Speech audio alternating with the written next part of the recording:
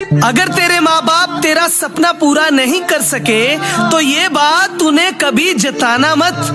खुदा ने अपने दम पे कुछ करने का मौका तुम्हें दिया है, और तुम ये मौका कभी गवाना मत।